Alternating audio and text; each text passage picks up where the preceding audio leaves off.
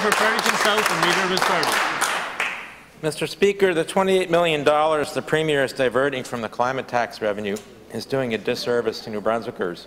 Greens would use that revenue to achieve multiple goals, assist people to climb out of energy poverty by properly funding the low-income retrofit program, which would also cut carbon pollution, assist small and medium-sized businesses with zero-interest loans to increase their productivity by paying for renovations to cut their energy costs, which would also cut carbon pollution, invest in public transportation infrastructure so women living in, on low income in my riding, for example, could actually access mammograms in the Oromocto Hospital, the only place they can get them, for the price of a bus ticket when they can't afford a taxi.